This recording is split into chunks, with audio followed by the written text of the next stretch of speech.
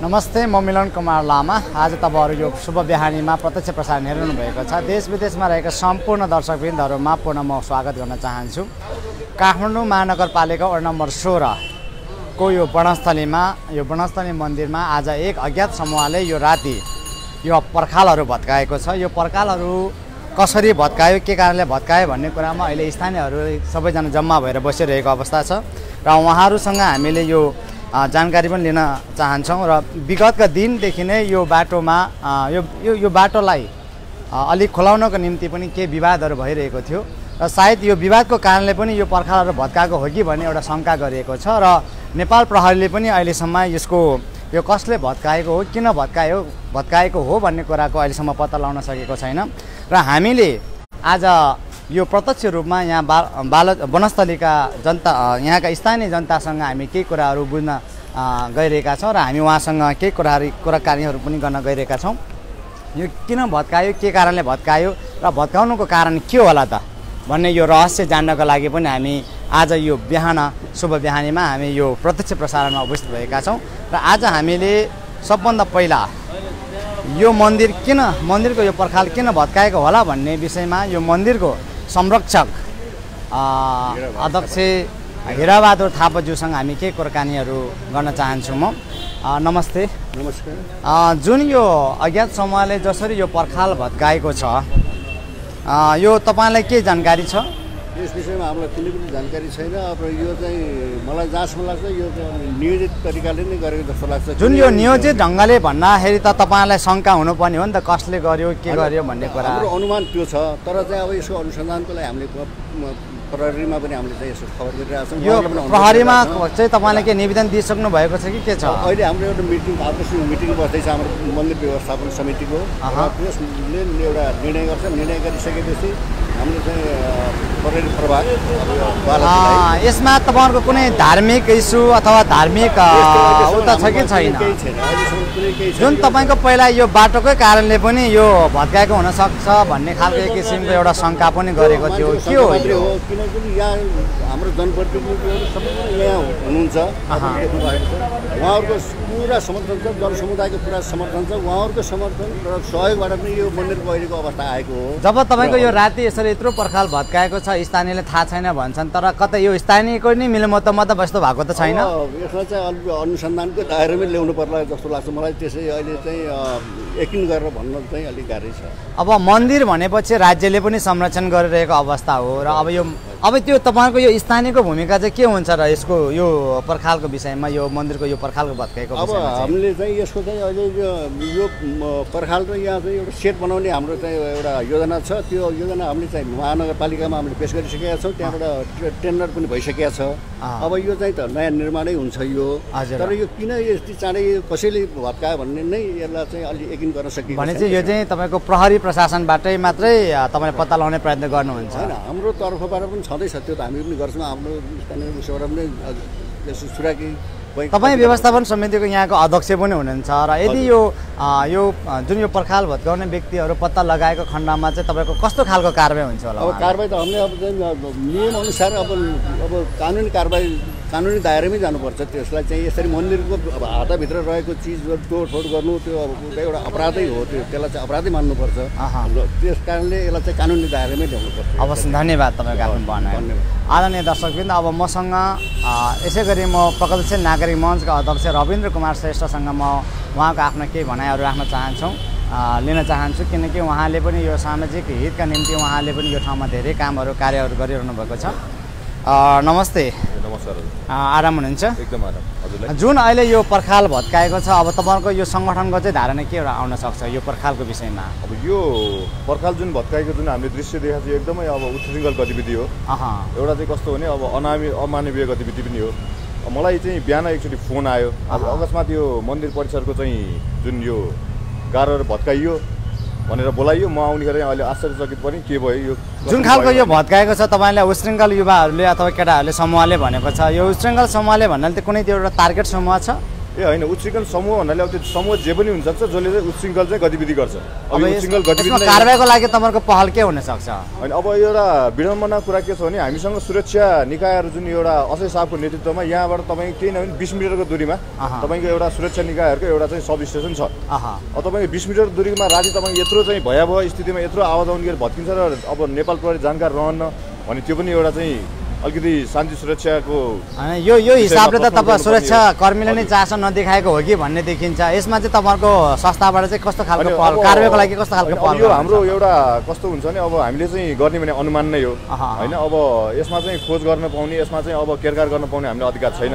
यो निस एकदमै तपाईँको सुरक्षा कर्मीले नै गर्ने काम हो तर हामीले चाहिँ के देखाएको छ भने विगत केही समयदेखि यहाँका सङ्घ संस्थाहरू सामुदायिक विकास सङ्घ छ यहाँका अब वनस्थल युथ सर्कल यहाँका अब जति पनि गण्यमान्य अब सामाजिक अभियन्ताहरू हुन्छ बुद्धिजीवीहरू नि यो पछिल्लो समय चाहिँ थोरै विवाद चाहिँ सडक सम्बन्धी भएको थियो।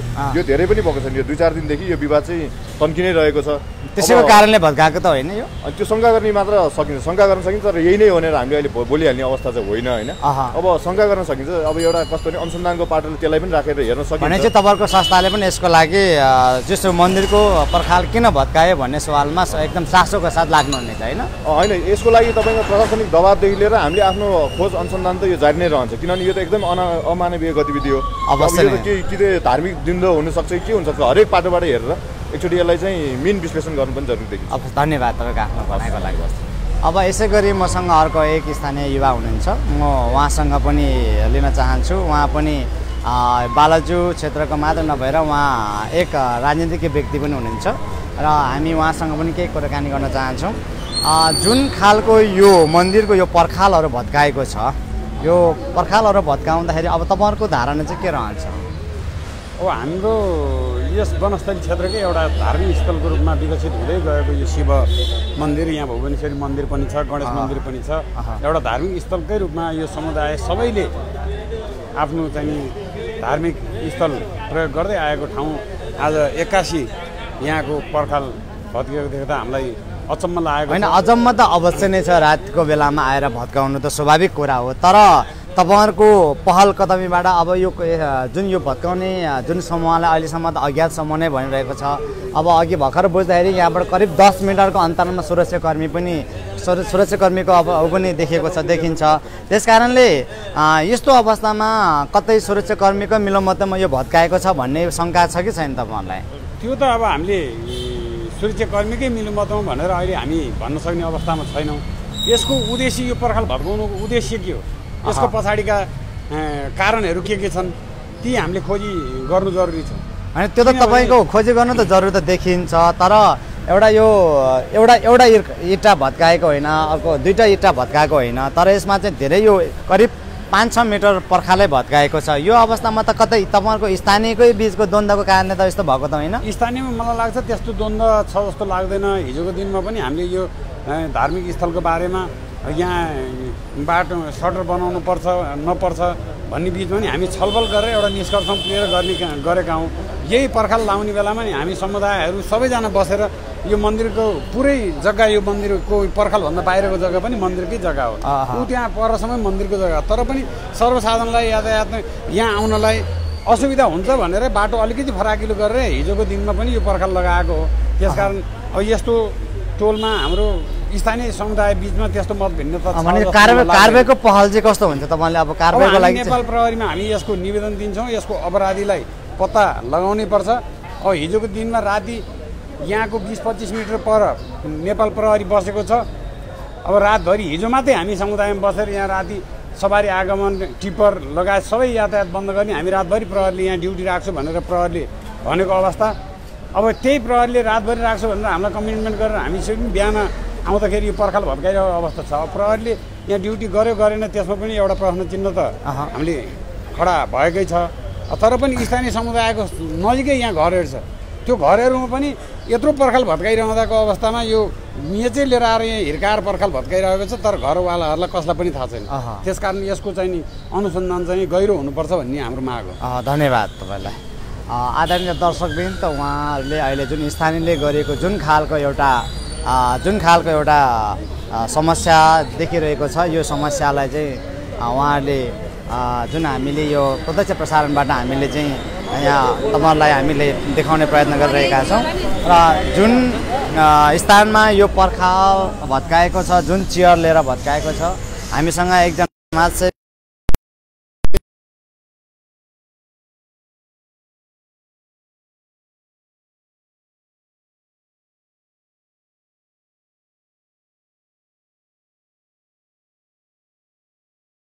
भत्किँदा र यस्तो भग्नाशेष देख्दाखेरि यो आठ ट्र्याक्टरको भूकम्प आउँदा पनि नभत्केको पर्खाल आज एक एक्कासी यसरी भत्किँदा कति दुःख लाग्छ जब यसरी मान्छेलाई अ, कस्तो हुन्छ? भूकम्प आउँदाखेरि पनि नभत्किएको पर्खाल आज चाहिँ एउटा समुदायकै व्यक्तिहरू प्रतिनिधिहरू आएर चाहिँ यसरी भत्किएको अवस्था छ। एउटा प्रतिनिधि नै भनौँ एउटा प्रतिनिधि पात्रै भनौँ हामीले। अब रातभर यहाँ सुरक्षाकर्मी पनि खटिएको देखिन्छ। तर पनि यो पर्खाल भत्किएको छ। अब तपाईँको पहल कदमी चाहिँ के हुनसक्छ कारवेको पहल कदमी चाहिँ के हुनसक्छ अब भन्नु भने विगतमा हाम्रो यहाँ हाम्रो टोलकै हाम्रो नेताजीले विश्वरामजीले पनि भन्नुभयो उहाँले। भन्नुभएको छ। अब के भने हामीले सुरक्षा निकायलाई पनि हामीले जुन हामीले कमिटमेन्ट दिइसकेको छ र उहाँहरूसँग उहाँहरूको सहयात्रीमा सहयोगमा हामीले काम पनि गरेका छौँ। हामी टोल सुधारको मान्छेहरूले टोल सुधारमा जति सहयोग गर्नुपर्ने प्र- प्रहरीलाई साथ दिनुपर्ने। यहाँ चाहिँ तपाईँको भन्यो भने पन्ध्र बिस मिटर उतापट्टिको प्रहरीले चाहिँ आएर के हेरेको छ र प्रहरी नै यहीँ ड्युटी बस्छ जबकि टिप्पर गाडी हेभी गाडीहरू यी प्रवेश निषेध गर्ने भनेर हिजो मात्रै हामीलाई प्रहरीले कमिटमेन्ट दिएर बोर्ड हामीले राखेको हामीले गेट राखेको थियौँ। गेट लिएर गएर प्रहरीले लिएर त त्यसमा नगरेर गेट नराखौँ प्रहरी खटाइदिएर हिजो। मात्रै पनि तपाईँको प्रहरीहरूसँग र तपाईँको समुदाय बिच एक किसिमको विवाद उत्पन्न हुनु यो ठाउँको विषयमा यो बाटोको विषयमा होइन गाडी खोल्नुपर्छ भनेर दबाब दिइरहनु दिइरहनु प्रहरीले पनि दबाब दिनु र आज राति यो घटना घट्नुमा के यसमा कुनै यो समुदाय र यो प्रहरी बिचको कुनै- यो एउटा कन्फ्लिक्टको कारण त होइन यो? होइन त्यो- त्यसलाई हामीले त्यो रूपले पनि हेर्नु भएन। त्यो किनभने किनभनेदेखि त्यो रूपले हामीले हेर्दाखेरि प्रहरीले नै यसो गर्यो अथवा प्रहरीले लायो अथवा यहाँको जनसमुदायले यसको टिपर गाडी हेभी गाडी चल्नुपर्छ अथवा यो बाटोलाई अवरोध गर्नुपर्छ मन्दिरलाई अवरोध गर्नुपर्छ भने हामी त्यतापट्टि नजाउँ त्यो पक्षमा जानु नै भएन। तर के भने हामीले के चाहन्छौँ भने हाम्रो यो जनसमुदायले के चाहन्छ भने यो मन्दिर सदियौँ वर्षदेखि चाहिँ चल्दै राख्दै आएको र हाम्रो यो धर्मको उसमा राख्दै आएको मन्दिरलाई आज यसरी यो भत्काउने भग्नाशेष बनाउने मान्छेलाई हामीले चाहिँ के जिम्मेवारी छौँ भने प्रहरीले इन्भेस्टिगेसन गर्नुपर्छ प्रहरीले नै यो खोज तलास गर्नुपर्छ र प्रहरी हिजो किन ड्युटीमा बस्यो तपाईँलाई विश्वास छ तपाईँले यो चाहिँ सुरक्षाकर्मीले अथवा नेपाल प्रहरीले चाहिँ यो अपराधीहरू पत्ता लगाउन सक्छौँ भनेर? जुन यो प्रकार भत्काएको छ जुन यो एउटा सामाजिक आस्थाको धरोहर एउटा धार्मिक आस्थाको धरोहरको जुन यो पर्खाल भत्काएको छ यो के पत्ता लगाउन सक्छ भन्ने तपाईँलाई विश्वास छ तपाईँलाई? अब तपाईँले त्यही कुरा गर्नुहुन्छ भने नेपाल प्रहरीको चाहिँ वर्ल्डमा नेपाल प्रहरी इन्भेस्टिगेसन एन्ड क्राइममा चाहिँ उसले पुरस्कार पा अवार्ड पाएको प्रहरी हो नेपाल प्रहरी। अब त्यो कुरामा हामीले सुन्दै आएको छौँ देख्दै आएको छौँ अवार्ड पाएको छ भनेर। र हुन पनि छ पाएको थियो अवार्ड इन्टरनेसनल उसमा इन्भेस्टिगेसन एन्ड क्राइममा अवार्ड पाएको प्रहरी हो नेपाल प्रहरी। अब यो सानो एउटा एउटा क्राइमलाई यस्तो यो यसो गर्ने मान्छेहरूलाई उनीहरूले पत्ता नलाउनु भन्ने त छँदै छैन। अब त्यो चाहिँ कस्तो तरिकाले उहाँहरूको हेराइमा। र उहाँको ड्युटी गराइमा हामीले बुझ्नुपर्छ र हामी चाहिँ यो चाहिँ हामी चाहिँ कन्टिन्यू हामी चाहिँ लागि पर्छौँ यो चाहिँ हामी चाहिँ फलोअप गरिरहेको छौँ यो चाहिँ नेपाल प्रहरीलाई? चाहिँ तपाईँहरूको सहयोग कस्तो रहन्छ यो अब? अहिलेसम्म नेपाल प्रहरीले हामीले भने लगाएर गरेको काम अहिलेसम्म अहिलेसम्म राम्रै गरेको छ। अब आजका दिनदेखि पछाडि अब गर्छ कुन तरिकाले गर्छ अब हामीले हेर्ने बाँकी छ यो कतै यो तपाईँहरूको यो मन्दिरको नाउँमा यो कतै बाटो बढी मिचेको कारणले चाहिँ उहाँहरू आएर यो भत् पर्खाल भत्काएको त होइन अब यसरी हामीले यसरी बुझ्नु पऱ्यो यो मन्दिरको कारणले अथवा घरको असुविधाका कारणले अथवा बाटोको असुविधाका कारणले अथवा हाम्रो यो धर्मका विरोधीका कारणले हामीले यसरी फ्याक्टर नभनिहालौँ। यो भन्नु हामीलाई उचित पनि होइन। हामी पनि एउटा जनसमुदायमा बसेका मान्छे। मैले एउटा धर्म मान्छु अर्काले अर्को धर्म मान्ला तपाईँले अर्को धर्म मान्ला कसैले अर्को धर्म मान्ला। त्यो आफ्नो उसको इच्छाको कुरा हो।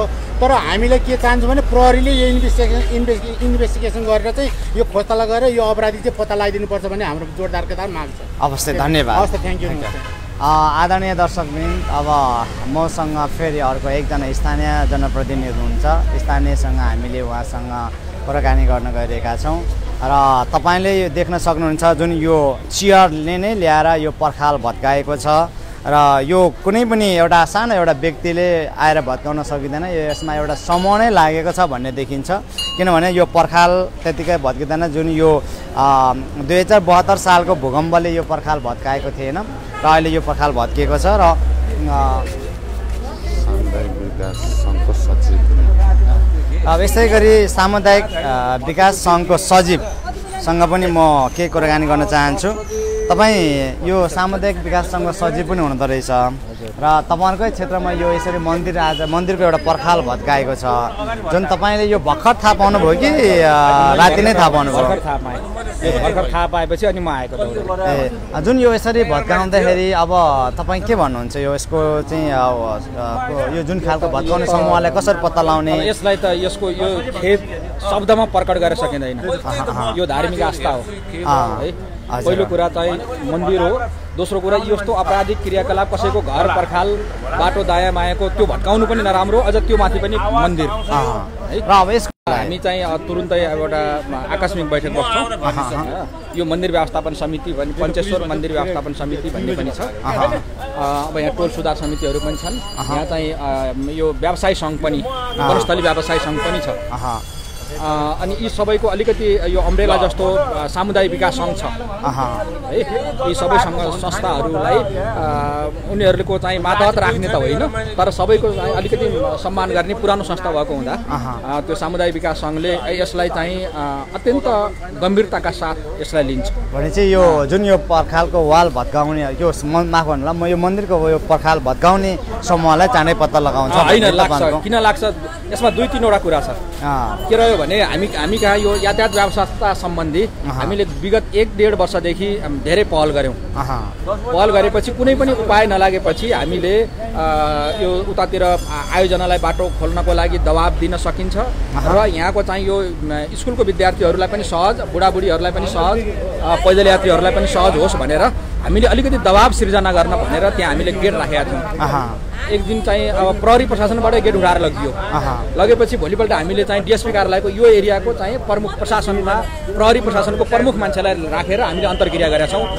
अस्ति बिहान शनिबार बिहान मात्रै। है? अनि त्योभन्दा अघिल्लो दिन उहाँ सम्बन्धित फिल्डमा आएर पनि हेर्नुभयो।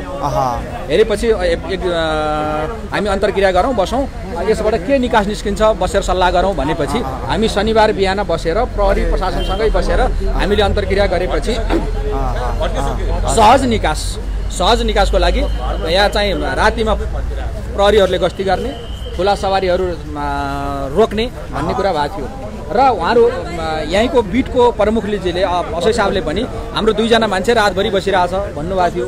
अब दुईजना प्रहरी यहाँ रातभरि बसिरहेछ यहाँ चाहिँ पर्खाल हिजो साँझ दुईजना प्रहरी त्यहीँ बसिरहेछ। भनेपछि सायद उहाँहरूले देख्नुभयो होला।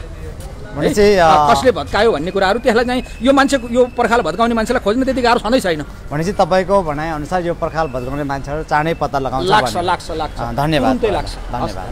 आदरणीय दर्शकबिन यो धार्मिक आस्थाको यो धरोहर यो मन्दिरमा जुन हिसाबले यो भत्किएको छ यो एउटा सामाजिक हिसाबले पनि एक हिसाबले पनि यो गलत नै देखिन्छ। र हामीले यो आज यो बिहानै तपाईँहरूको माझमा यो धार्मिक आस्थाको धरोहर रहेको यो ठाउँबाट यो प्रत्यक्ष प्रसारण गरेका छौँ। र जुन स्थानीय जनताहरूको पनि धारणा हामीले लिइसकेका छौँ र भनेपछि जुन हिजो हामीले अर्को एकजना इभिडेन्सलाई पनि यहाँ तपाईँहरूको माझमा ल्याउन उपस्थित गराउन चाहन्छौँ। उहाँले हिजो राति दस बजे नै यो पर्खालको यो भत्किएको देखेको भन्ने कुरा हामीले प्राप्त जानकारीमा प्राप्त आयो। त्यस कारणले तपाईँले जुन हिजो दस बजे नै भन्नुभयो तपाईँ त्यतिखेर कताबाट आउनु भएको थियो? जिमबाट म त जिमबाट जहिले पनि राति आउँछु कि। अनि त्यतिखेर तपाईँले किन यो समुदायले खबर नगर्नु भएको तपाईँले? होइन म त त्यो यो भट्काएर भोलि केही बनाउन ला बारसार लाउन ला भने पो ठान्ने मैले त। मन्दिरलाई नै बारो अँ अनि यो जुन किसिमको भड्किरहेको थियो नि यसरी त्यो सिरियल वाइज भड्किरहेको कोही मान्छे पनि छैन सायद। तपाईँ दस बजी आउँदा त यो प- सटरहरू पनि बन्द भएको सब बन्द सब बन्द सब बन्द। एउटा मान्छे यहाँ मन्दिर घुम्न आएको एउटा मान्छे मात्रै देखेँ मैले। भनेपछि तपाईँले उहाँलाई सोध्ने अथवा के गर्ने सोधेँ। सोधेँ मैले। त्यो। मान्छेलाई सोध सोद्धाखेरि थाहा छैन भन्नु ए, उहाँले पनि थाहा छैन भन्नुहुन्छ। भनेपछि तपाईँले चाहिँ हिजो दस बजी देखेको। दस बजी भड्किसक्यो अँ, आदरणीय दर्शक पनि उहाँले हिजो दस बजे नै देखेको यो जुन यो घटनालाई अहिले भर्खरसम्म पनि उहाँले अहिले बल्ल बिहान सबै जनता स्थानले थाहा भएको छ। र यति जेलसम्म तपाईँहरूले हामीलाई हेरेर साथ दिने भयो। र जुन स्थानीयको यो आवाज पनि तपाईँले सुनिसक्नुभयो त्यसको लागि हामीलाई पनि बिदा दिनु होला यति भन्दै म मिलन कुमार लामा पनि बिदा हुन चाहन्छु। हस्त धन्यवाद। क्लोज गर्नुहोस् के